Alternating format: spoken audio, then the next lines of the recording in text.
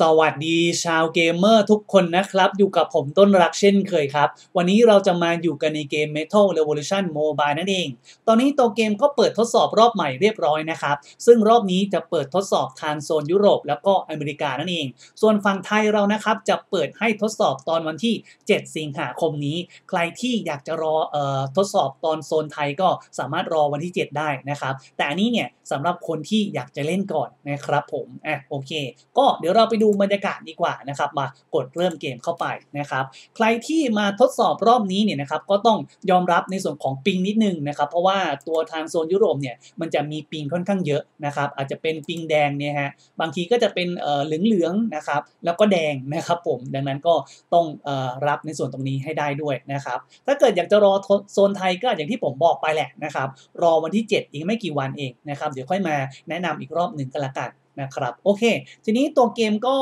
จะเป็นภาษาไทยนะครับตามที่เห็นเลยนะครับเราสามารถที่จะมาทำการตั้งค่ากราฟิกตรงนี้ได้นะครับเนี่ยกดเข้ามาแล้วก็ปรับได้เลยครับ คุณภาพกราฟิกก็ปรับได้เป็น UHD เลยนะครับแล้วก็ในส่วนของความละเอียดนะครับก็ปรับเป็นสูงได้นะครับแล้วก็ในส่วนอื่นๆนะครับก็มาปรับเอาว่าเราจะถนัดแบบไหนยังไง เรื่องทรงเรื่องเสียงเรื่อง controller หรืออะไรต่างๆนะครับก็มาปรับได้เลยนะครับภาษาก็เปลี่ยนได้แล้วแต่ความถนัดของใครมัน นะครับโอเค ทีนี้ตัวเกมเนี่ยมันจะมีโหมดตรงนี้ครับ มีแมตช์จัดอันดับนะครับ ซึ่งมันจะมีให้เราเล่นตั้งแต่ตอนช่วงที่เรามีตัวละครสามตัวขึ้นไปนะครับ ก็จะมีแบบ1 v 1แล้วก็2 v 2นะครับ แล้วก็จะมีโถงเกมตรงนี้ ก็คือเราสามารถที่จะไปดูในส่วนของคนอื่น ๆ ที่แบบเข้ามาเล่นแบบออนไลน์ได้อะไรประมาณนั้นนะครับ เราไปดูเขาต่อสู้ได้นะครับ แต่ว่าตรงนี้เนี่ยที่ผมเข้ามาก็คือยังไม่มีอะไรเลยนะครับ อืม เหมือนกับว่าแบบโซนทางยุโรปแบบคนเขาเล่นไม่ค่อยเยอะเท่าไหร่ นะครับก็รอโซนไทยอีกทีหนึ่งก็แล้วกันนะครับสามารถที่จะไปดูออนไลน์ได้เนาะนะครับส่วนอันนี้นะครับจะเป็นโหมดโซโล่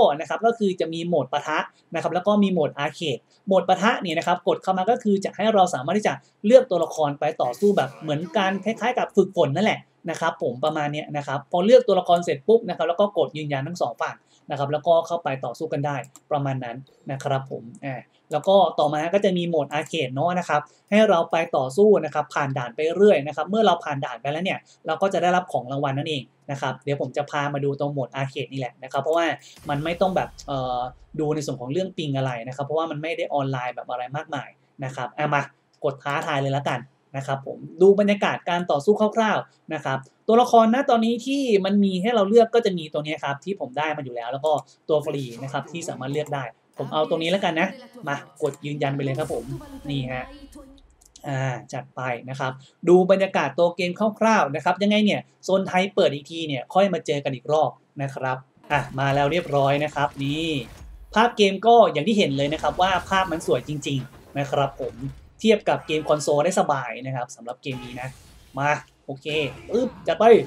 นี่แน่ในส่วนของการต่อสู้การใช้ปงใช้ปุ่มอะไรยังไงเนี่ยนะครับตัวเกมมันจะมีการสอนตอนเข้ามาตอนแรกอยู่แล้วนะครับผมไม่ต้องกลัวว่าจะเล่นไม่เป็นหรืออะไรยังไงนะครับ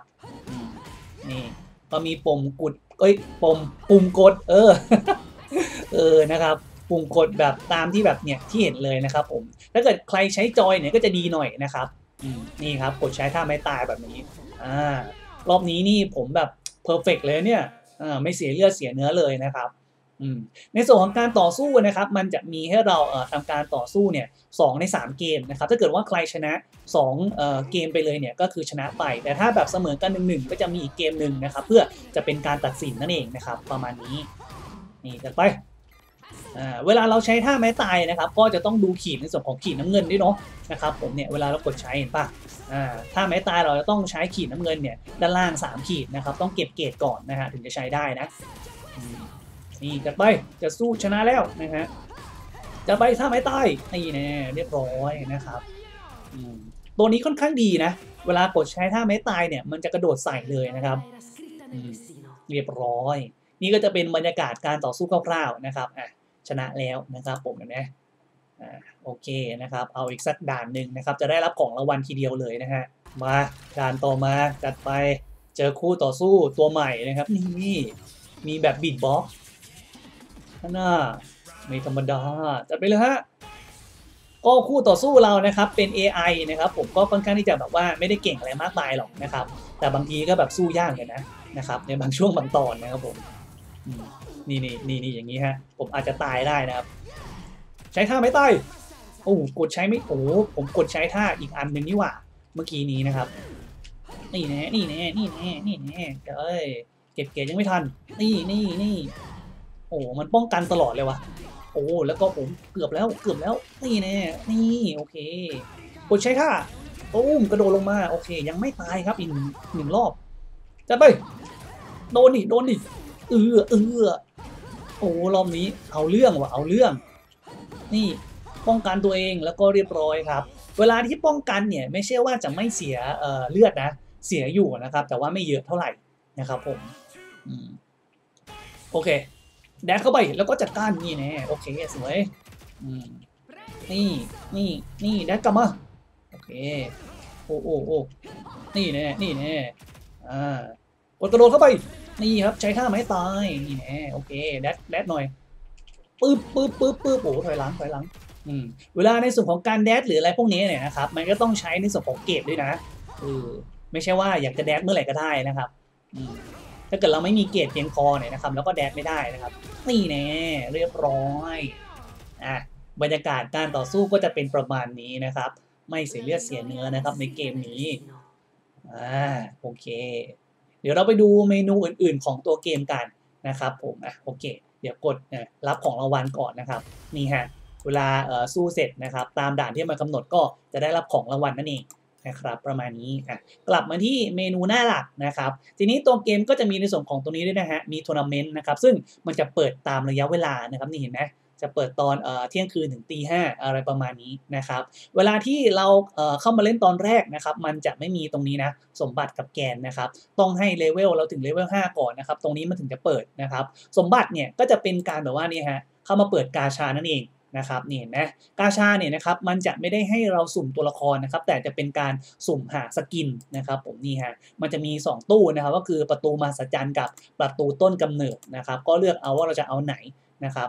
ในส่วนของการเปิดเนี่ยเปิดแบบ 10 ครั้งก็จะใช้เพชรตรงนี้ครับค่อนข้างเยอะเหมือนกันนะครับผม ตัวเกมเช่วงทดสอบก็แจกเพชรไม่เยอะเลยอะเออน่าจะแจกเยอะๆหน่อยนะครับมาเดี๋ยวลองเปิดอันนี้นะฮะเนี่ยมันมีให้เราเปิดแบบฟรีๆอยู่นะครับ จัดไปนี่ครับเปิดให้ดูแบบคร่าวๆนะครับผมนี่อ่าอันนี้คือการเปิดกาชานะครับ โอเค อุ้ยไม่ได้ไม่ได้สกินเฉยเลยว่ะได้เป็นเป็นแบบของอย่างอื่นแทนนะครับอ่าเอาตู้นี้มั่งไปตู้นี้ตู้นี้อะ ตู้เมื่อกี้เปิดไม่ได้นะครับเอะข้ามเลยแล้วกัน โอ้โห ไม่ได้อะไรเลยได้แต่ power bank นะฮะ ตู้นี้ถ้าเกิดจะเปิดหนึ่งครั้งเนี่ยเอ่อจะต้องโอ้โหใช้พันหกร้อยเพชรเยอะเกินนะครับผม ยังไงก็ลองมาเปิดดูกันละกันนะครับผม อันนี้ก็จะเป็นในส่วนของเอ่อตู้กาชาเนาะนะครับ ต่อมาอันนี้แกนนะครับ ลองเข้ามาดูนะครับ ก็จะเป็นในส่วนของเอ่อระบบ season pass นั่นเองนะครับผม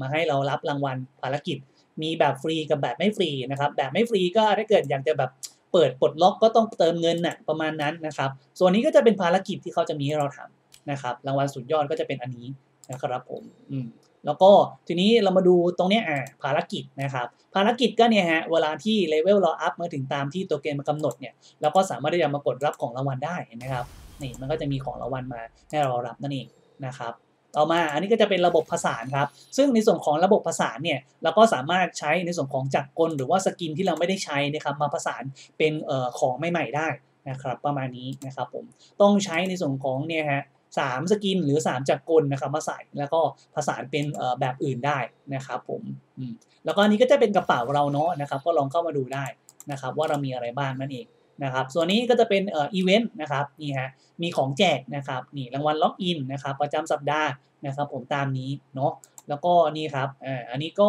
อีเวนต์อันไหนที่เราทำได้แล้วนะครับ ก็มากดเคลมรับของรางวัลได้เลยเห็นไหมอ่านี่ครับผมอืมส่วนอันไหนที่เรายังไม่ได้ทำนะครับ แล้วก็ไปทำได้นะครับเนี่ยมันก็จะให้เราไปเพิ่มเพื่อนอะไรอย่างนี้นะครับ แชร์หนึ่งครั้งก็จะได้รับของรางวัลตามนี้นั่นเองนะครับผมอืมก็อย่าลืมมาทำแล้วกัน นะครับ แต่ว่าช่วงนี้มันเป็นช่วงทดสอบเนาะก็ไม่ต้องแบบเอ่ออะไรมากมายนะครับเล่นขำๆไปนะครับส่วนนี้ก็จะเป็นในส่วนของร้านค้านะครับ ซึ่งตัวละครเนี่ยเราสามารถมาซื้อได้จากตรงนี้นะครับ รวมถึงสกินด้วยนะครับ ผมนี่ฮะเห็นไหมมันก็จะมีสกินตัวละครนะครับหลาย ๆ ตัวนะครับ มาให้เราแบบได้ดูกันนะครับ ผมเนี่ยจักรกลนะครับที่มันมีอยู่นะตอนนี้นะครับ ก็จะมีประมาณนี้นะครับ ก็กดเข้ามาดูในส่วนของอตัวจักรกลได้นะครับเห็นไหมฮะอ่า อันนี้ครับจักรกลเขาก็มี skin ของเขานะครับนี่ครับหลากหลายแบบนะครับ ผมก็ลองเข้ามาเลือกดูได้นะครับ skin อันนี้ก็เนี่ยฮะตามนี้เลยนะครับส่วน feature อื่นๆก็เนี่ยฮะลองเข้ามาดูครับ มันก็จะมีแบบพวกเอ่อเนี่ยฮะเพิ่มในส่วนของการ์ดเพิ่ม EXP การ์ดเพิ่มเหรียญอะไรอย่างนี้นะครับผมแล้วก็ในส่วนอื่นๆนะครับมีอีเมจิขายด้วยนะครับนี่ลองเข้ามาดูเนาะนะครับใช้เงินได้นะครับในการซื้อเงินที่เราหาจากในเกม หรือว่าจะเป็นเพชรที่เติมเลยก็ได้ นะครับ ประมาณนี้ประมาณนี้นะครับผมตัวเกมก็จะมีประมาณนี้คร่าวๆนะครับทั้งหมดทั้งมวลนะฮะเอาไว้ตอนโซนไทยมาอีกทีนึงนะครับ ค่อยมาลองเอเล่นแบบโหมดที่เป็นแมตช์จัดอันดับกันนะครับ เพราะว่าณตอนนี้ถ้าเกิดมาเล่นแมตช์จัดอันดับเนี่ยผมว่าไม่ work นะครับเนื่องจาก ping มันค่อนข้างเยอะนะครับเอามาลองแบบขำๆก่อนนะจ๊ะเออไม่แน่ใจว่าตัวเกมจะเปิดเมื่อไหร่นะครับ ก็ตอนนี้ closed beta นะครับหลายรอบแล้วนะนะครับ open beta ไม่มาสักที นะครับก็รอดูต่อไปแล้วกันเดี๋ยวจะมาอัปเดตข่าวสารนะครับคลิปนี้เอาไว้เท่านี้นะผิดพลาดอะไรยังไงก็ต้องขออภัยมาณที่นี้ด้วยนะครับ ไปละ สวัสดีทุกคนครับผม